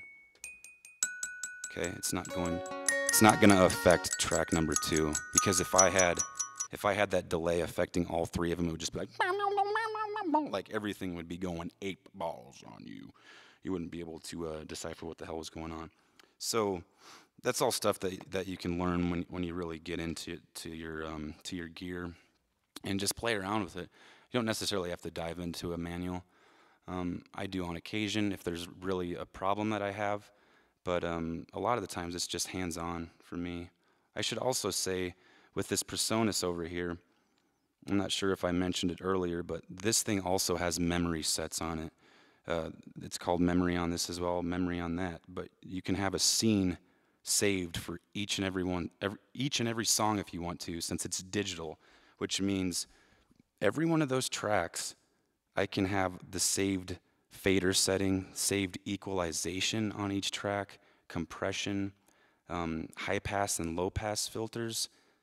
And so I each song each song that I play sometimes it's like 41 I switch that to 41 I switch this pedal to 21 and uh, those settings pretty much correspond to different EQ adjustments on each one of these tracks. So let's say I put a track track number 1 is a backup guitar and it goes into channel number 7 on the Presonus what I'll do if it's a, if it's supposed to be a looped backup guitar is I'll put a high pass on it and I will also put a, a low pass on it kind of you know cut the low end off cut the cut the high end down a little bit and then uh, about four or five decibels at 2000 hertz I'll, I'll dunk out um, kind of the pain frequency or also where the, the vocals sit. And what that does is it helps it sit below um, your main vocal and your your rhythm guitar. It, it fills it, it fills that space, and it doesn't take away from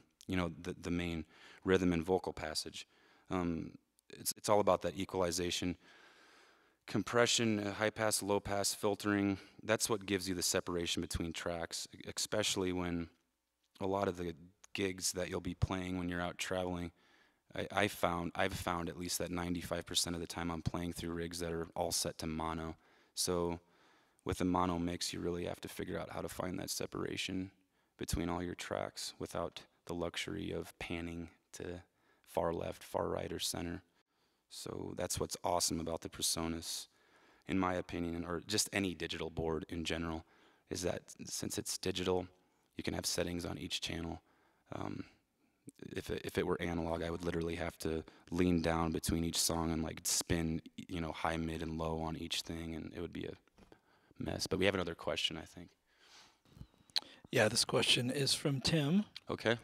And Tim asks, um, are all your loops done in real time or do you pre-record some of them?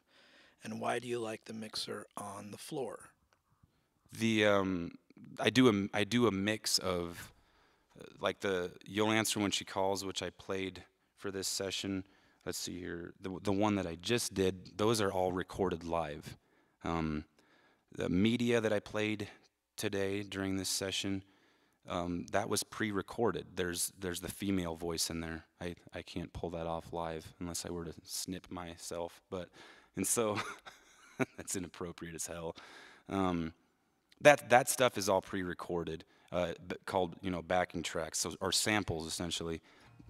I, I I also can use this as a sampler, but um, I do some songs as well off of my my latest record where I have sampled drum beats.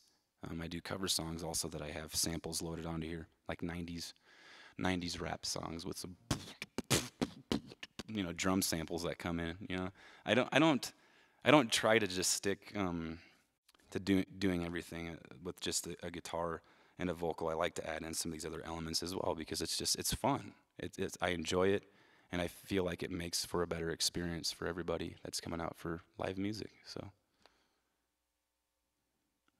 alrighty. Any more questions? Are we good? Cool. Um, like I said, we, I guess we touched base on the Presonus. I think I covered that pretty thoroughly. Did I? Is that? If anybody has any more questions on that, just feel free to shoot away. Boss RC300 covered that pretty well. What I've got over here is called a, a Roland SPDX. It's a it's a sampling pad. I'm gonna set this down for a sec.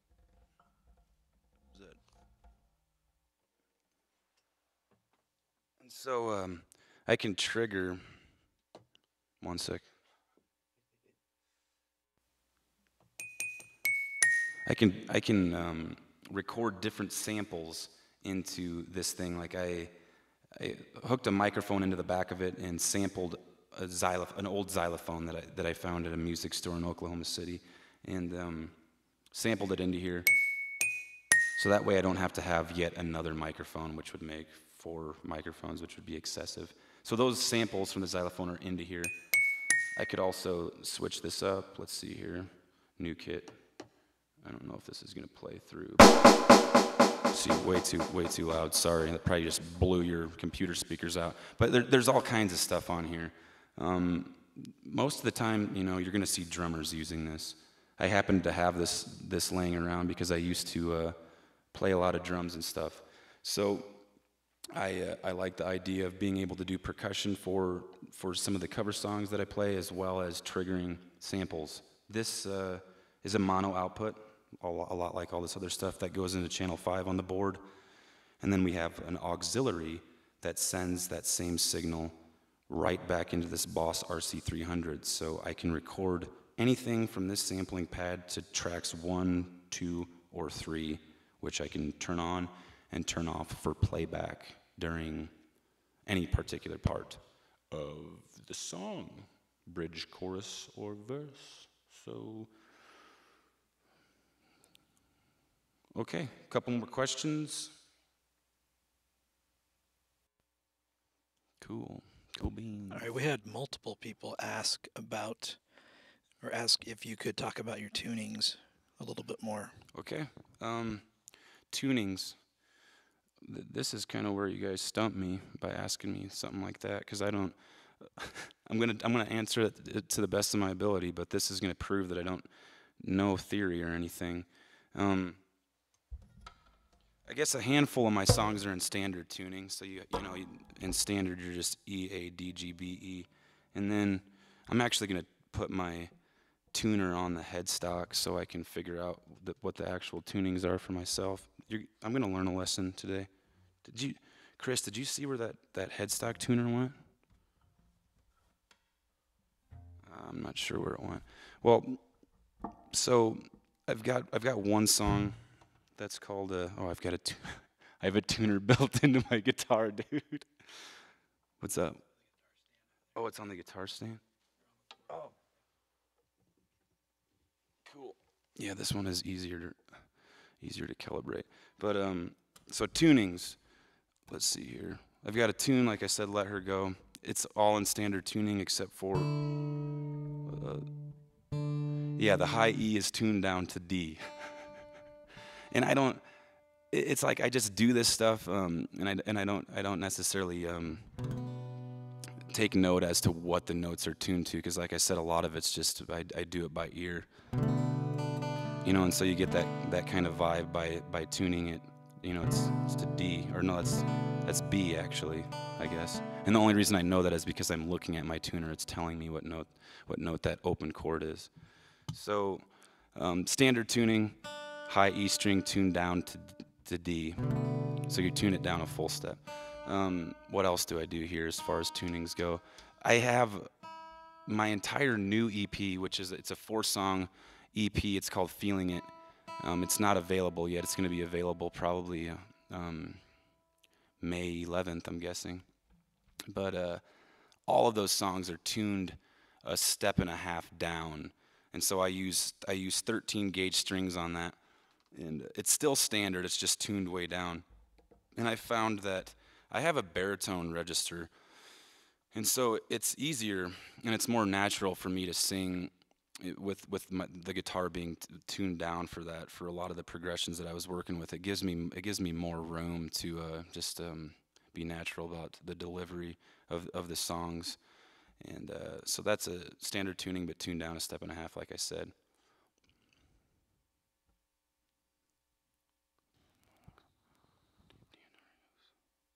Okay, I'm trying to. What's crazy, dude, is I'm like totally blank on the. Um, totally running a blank on what strings I used to be quite honest with you. I can't even remember the last um, the the last set that I put on here because sometimes I just grab I just grab well actually uh, Dean Markley. There we go. I, I wrote. See, I, I have to write notes down sometimes because I I completely forget what I'm even using. I just have packages of stuff laying around. So these are these are Dean Markley Helix strings, and uh, yeah, the reason that I essentially went with these strings and I haven't really thought about it much since is because they're just they don't break. Um, I, I I play aggressively. Um, if you haven't been able to pick that up. Um, and these uh, of all the strings that I've that I've dealt with, um, they seem to hold up. Um, I can I can play the same set for at least a few shows instead of having to switch out some of the other brands that I won't mention. I've had I had to switch them out um, during shows because I would break like a high E or the G string. The G string is a biatch. It always breaks all the time, but these these don't. So they feel good. They're like, um, as far as I know, I think the reason that they feel better is because they're like compress compression wound, which means uh, they yeah they compress the string the the outer coil they compress it as they as they um, as they whatever twist it around the the middle string, and so your sweat, your skin, everything it doesn't build up as terribly on these strings. That's why they last longer and don't break. So so Dean Markley Helix is is what these puppies are. I couldn't remember. Cool. Before we uh, transition into talking about some parapicking, uh, just real quick, uh, Tim was wanting to know uh, what the make and model on your sampler was, just real quick. Um, the make and model uh, on is, is he talking about this one or the or the RC? Yeah, I think the sampler. Okay, the, this is a Roland SPDX. Uh, yeah, it's just called Roland SPDX sampling pad, and it's predominantly used by drummers. Um, you know, drum drumsticks, but you can actually set these trigger pads to be, um, you know, more sensitive if, if you need them to be triggered by just your your fingers and stuff. I just I just like being able to grab these sticks to trigger different samples, play kick drum, whatever. So yeah, Roland SPDX, Roland SPD SX sampling pad. Sorry. all right. So is that it? That's all the questions we have right now. Okay. Cool. And talk a little bit about your JamPlay series, parapicking, and uh, and teach us how to do this stuff. Um, let's see here. Hopefully this. I, I beat this thing so often that the that the, the preamps tend to um, shake themselves to death. So so I've got a series on jamplay.com. I, I think that's kind of why I'm here, which is cool. Um, it's it's called parapicking for knuckleheads. Um, the, the knucklehead was probably inspired by my father because he always used to call me a knucklehead, and he he, he meant nothing but goodness from it.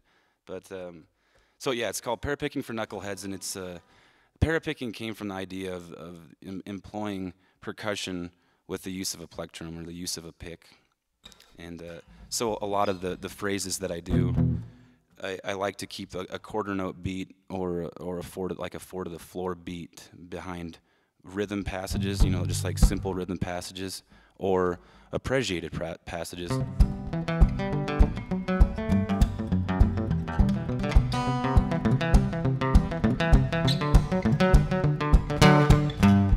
and I do that. I do that by down. You're down picking a note, and you're using the uh, the outside of your thumb as well as the, the fat of your thumb and the outer palm to uh, hit the strings. Sometimes, what also happens is, is since I'm the I'm one of those guys that uses my pinky to anchor when I'm picking, and so naturally as this this um, technique kind of progressed into my into my songs, that pinky sometimes hits my pick guard as well, which um, helps to create a low end, you know, kick drum sound too. So uh, that's that's the concept of para picking. Um, in my series, how much time do I have on this part? Because I want to I want to know like how much I should. What I what do I got? I've got about a half hour to talk about this. Awesome. So I really start starting from from step one. I go through. I'm stretching my legs. I go through warm-ups that I that I used uh, back in the day. I don't I don't focus as much on that anymore. I focus more on just writing songs and singing because I feel like this this technique is kind of just become part of my style and, and the way that I play now, where I don't have to wake up and you know go over a warm-up for an hour or whatever. But um, a coordination that I'll that I'll go over in, in the lessons is just a one, two, three, four kind of fashion where you just play down the down your frets and then you play in reverse order and um, go at whatever speed you need to. Uh, it's it's vital. I mean, I, I wish someone would have told me earlier on to use a metronome because I didn't for you know a long time. When I first started playing, I didn't I didn't even think to use to use a metronome. But I've, I've found that you'll you'll excel with whatever technique you're trying to work on if you just have a metronome going, and you can go go slow with it until you feel like you're comfortable with with uh, the technique. And so you can you know just play along to the metronome and do your one two three four all the way down the fretboard, reverse order, and then I got bored with with it because I once again the I, I've always you know just had that that head banging beat boom boom boom. And so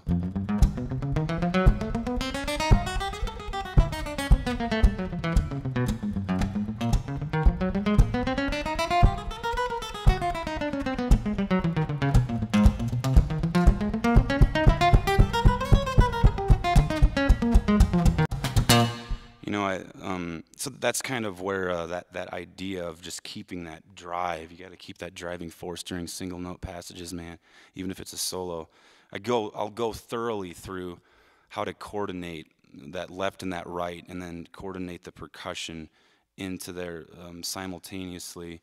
Um, there's a ton of different techniques that we'll, that we'll use to, to refine that. But uh, one of them is um, the kind of the, the para also came from the combination of picking and percussion, but also the idea of a paradiddle um, that a, a, good friend of mine taught me back in the day, where you can like one two one one two one two two one two one one two one two two, um, as as a drummer would play, and I and so I incorporated that into a lot of my warm up routine, just the same basic you know, warm up of the one two three four, but I would uh, one one two one one two one two one one two one one one two one one two one two one one two one, or doing one one two three one one two three one two three one, and by like one one two three one one two three one two three one one two three one, and by having that lead line then percussion, but um, a paradiddle within that percussion. It uh, by by doing those warm ups, you're pretty much making separate pathways in your head, so you'll be able to play any rhythm passage or any lead passage and and have a, a percussive rhythm intertwined with that, and you won't even have to think about it while you're doing it. It it, it becomes natural after a while. Is is what at least what I discovered by by doing that number counting parad- paradiddle system. Um, okay, what's the next thing that we're going to go over here? I've, I've, got a cheat sheet down here. I'm, I'm literally going to grab it because if you can't tell, my mind goes a mile a minute. So.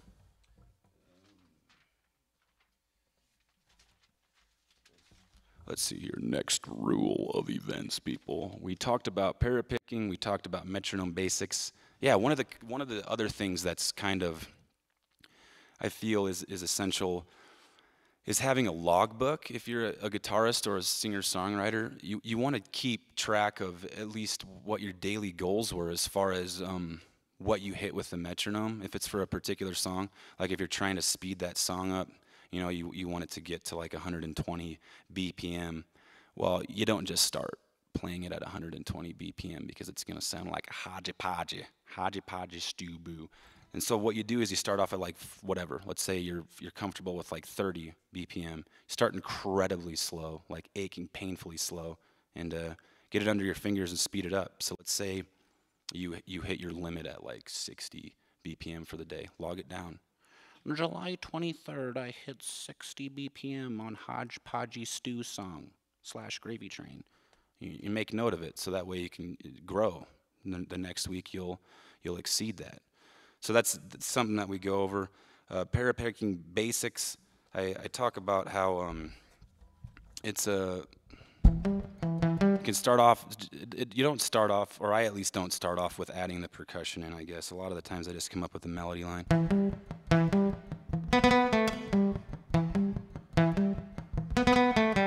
And then you can add muting, the muting in. Add percussion in.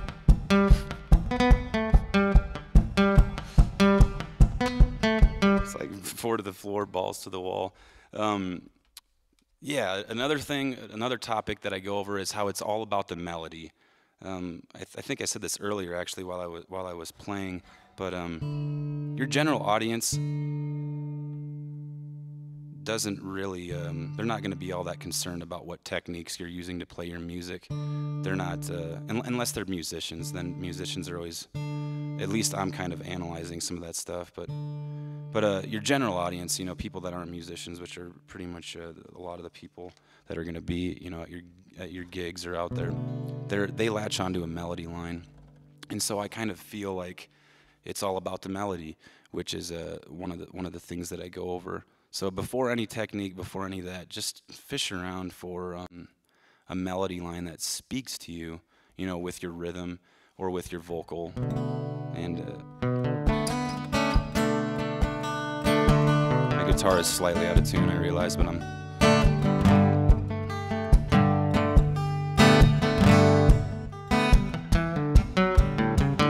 So that's a that's a tune called "Let Her Go."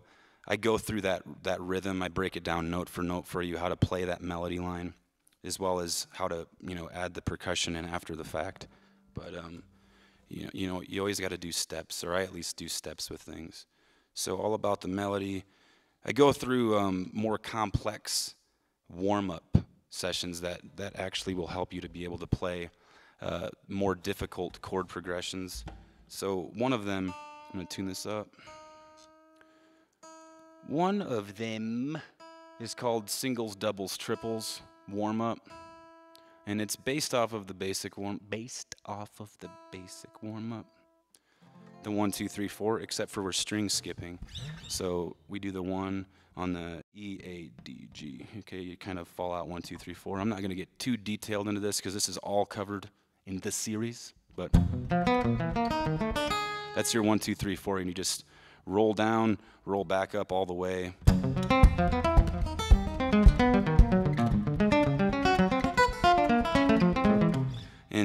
That's so that's the single, and then you would do doubles really slow if you need to.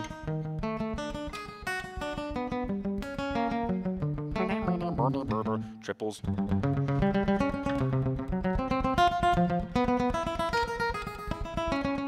And if you want to add percussion in.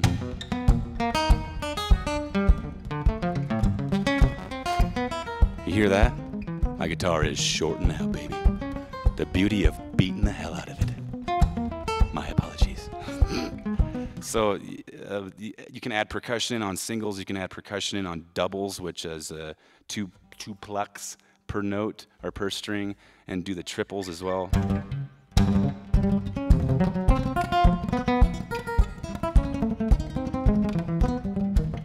It's been a while since I've played that puppy, let me tell you.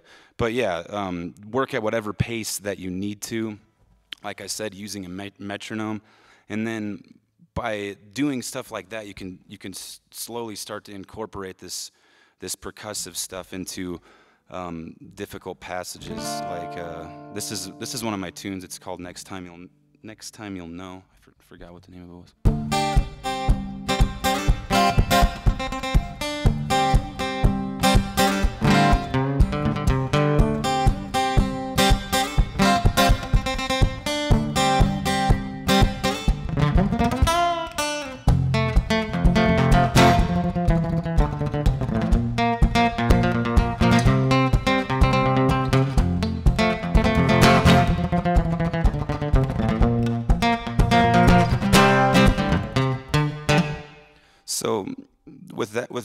Was doing is I was playing different rhythms, or just like full-on chords, and then I was doing single notes with the tremolo picking or alternate picking.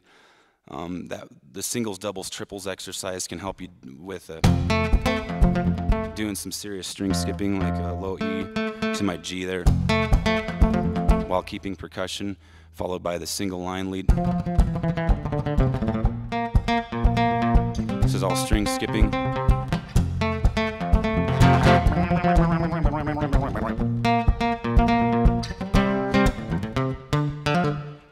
So that's uh, yeah, that covers. I think that covers that that particular section. Um, we go through hammer-ons and pull-off basic, which is the basic warm-up, the one, two, three, four. Except for we're doing, you're just doing hammer-ons. That's that'll strengthen your left hand. It'll also, um, yeah, pretty much. That's pretty pretty well the ba the basic need for it is you can also determine if each finger is striking at the same volume before you even bring your right hand into it. Um, usually, what I what I used to do as well is I would I would do pull offs on the way back up. Or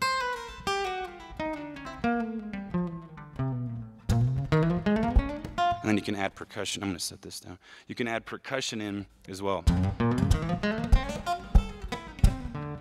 Can tell that I haven't done pull offs in a while. I'm like, but I, I, I, go through it thoroughly and in a clean fashion, and um, and show you in great depth how to uh, use that in some of these some of these songs that that I'll be playing in Parapicking for Knuckleheads. All right. So the next part is uh, something that I've I've definitely incorporated into a lot of my my songwriting. Um, I didn't start off with being able to sing and uh, play the guitar at the same time. It was actually incredibly challenging for me when I first started. I, I, I would start with um, songs like Nirvana. I remember Nirvana Smells Like Teen Spirit, playing that song. and, and even singing at the same time was in, incredibly challenging.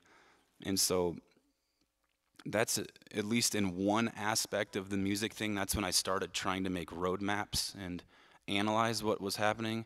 I don't do it with much of anything else. I just kind of intuitively go with it. But one of the things that we'll cover in in this series is um, is uh, how to sing and play at the same time to uh, probably I guess I would say intermediate passages. But um, one of the, the techniques that I that I like to use uh, even nowadays when I'm when I'm playing a passage that I feel like Jesus, how am I going to sing to this? The the first step is to get that get that riff under your fingers as well as you can. Like you play it whenever you get a chance to. You know, if it's a new new riff, watch TV while you're playing, um, talk to your parents and try to listen to them while you're playing. Don't ignore them. Don't don't fo- don't focus on your guitars. What I'm saying while, while you're playing it, try to distract yourself, but be playing at the same time.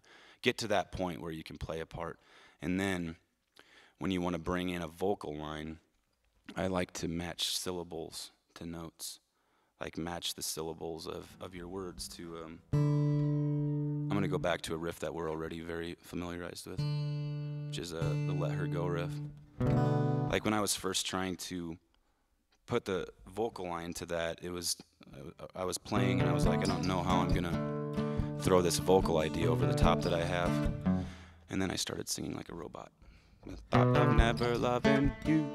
Na na na na na na na. I was matching syllables. The thought of never loving you. Like you can literally. It doesn't matter what the context of the music is. You'll be able to find where the down beats are in the song or when you're up picking and you can match the syllables of the of the words you're using to the notes. Like thought of never loving you,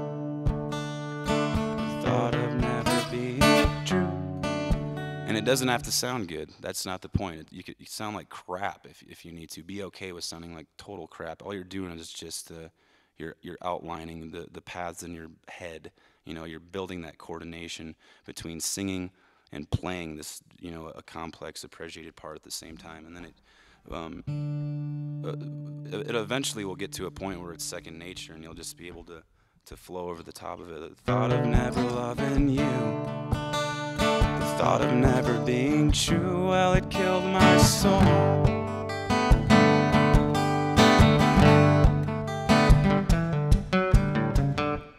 Another thing that I like to do is um, mumble and hum. So this is a, another technique that I use frequently is if you're just noodling around on the guitar and doing your guitar solos and stuff, just uh, you know, vocalize during it uh, as well. Just hum along to the melody.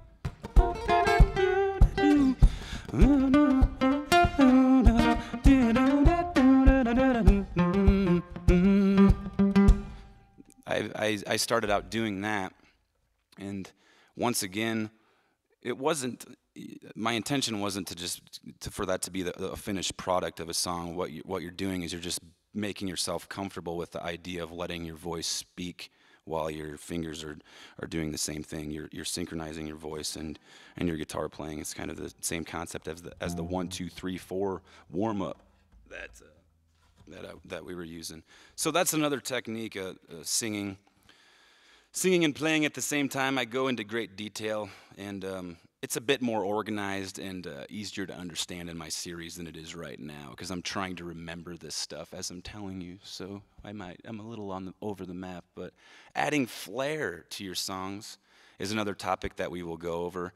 And uh, in a song of mine called Bipolar, I like to play off of the words and, and simulate the, the sounds of like a, a dime dropping.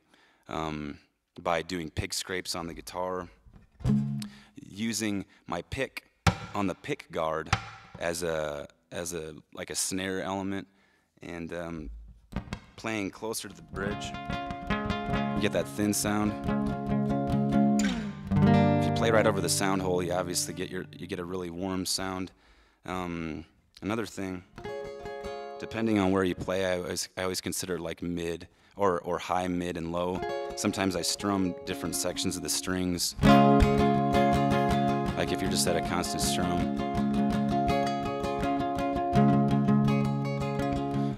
just all it seems like no-brainer things, you know, you know when someone's showing you, but if you add some of those different things into the context of a song, it can what I would say is uh, to to quote um, Office Space is you can add flair to um, to your song and, and kind of help separate a bridge from a chorus just by doing different little elements, uh, you know, with, within the song. Adding backbone to a lead guitar is uh, is another another subject that I'll that I'll go over. Um, doing like a simple lead line like a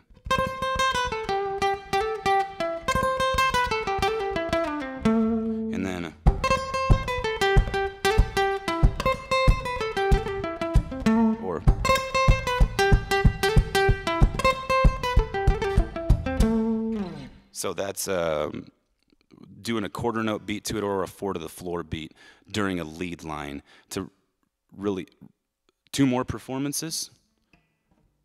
Okay cool.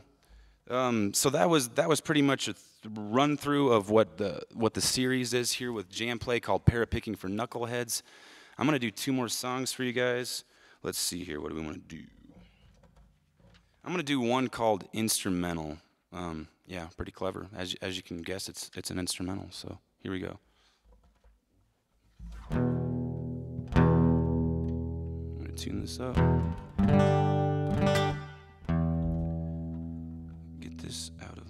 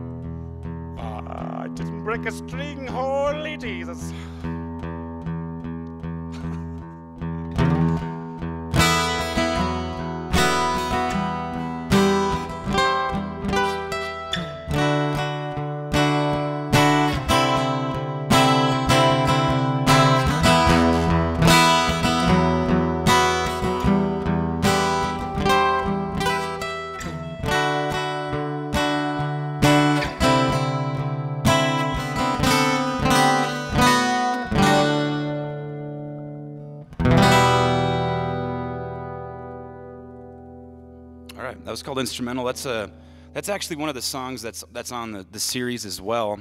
If you uh, if you tune into the parapicking for knuckleheads, I go through that song note for note and as well as how to add the different elements of percussion into into it, as well as the the the pick hits on the pick guard. And um, I'm gonna do one more song for you guys, and then I think that pretty much concludes this live show. So thank you for joining us here on uh, jamplay.com. My name is Dustin Prinz, and uh, yeah, thank you guys. I hope you've enjoyed the music. This one is actually a ch- pretty chill tune. It's an, it's a favorite of mine though. Uh, this is called Chama.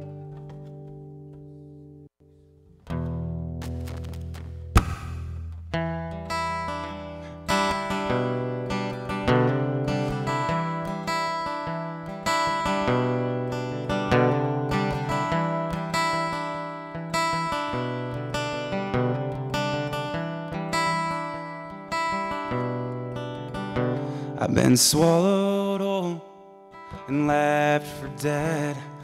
Where are the pieces and why won't they fit?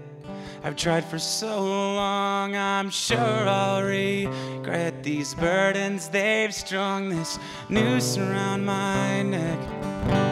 It seems I've lived my life choosing to be blind. Now I've got the rest of these years to open up my eyes. Day by day I'll fight. I'll choose my wrongs from rights. 'Cause failure's not in sight. It'll be fine. It'll be fine.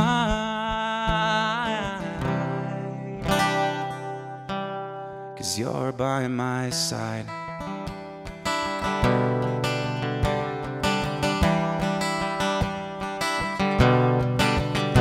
I must oversee my life or fall victim to it. Challenge my mind or in darkness I'll sit.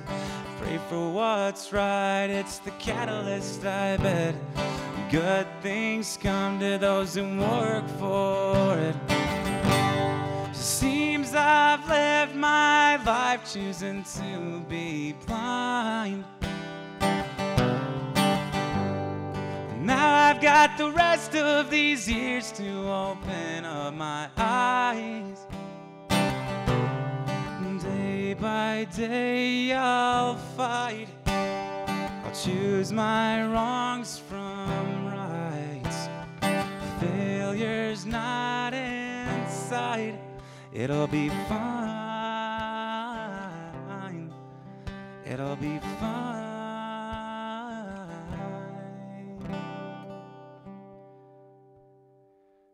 On a train outside of Chama.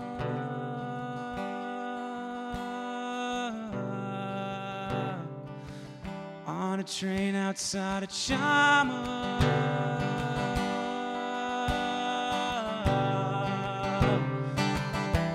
Train outside of Chama. It's when I realized.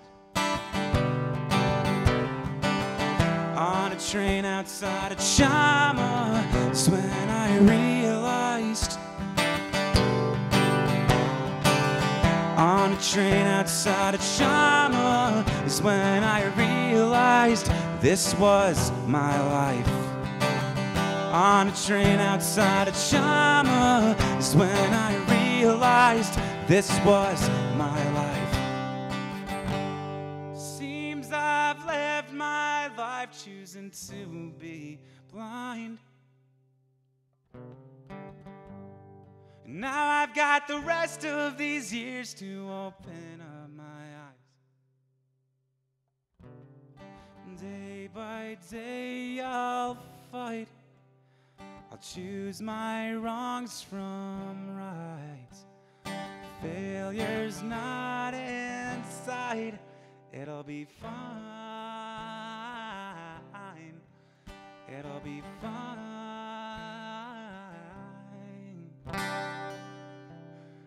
Cause you're by my side. Cause you're by my side.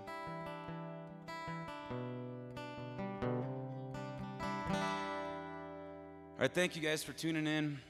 Um, this was brought to you by Jamplay. My name is Dustin Prinz. Make sure to check out my series on jamplay.com. It's called Para Picking for Knuckleheads. And yeah, thank you guys. Much love.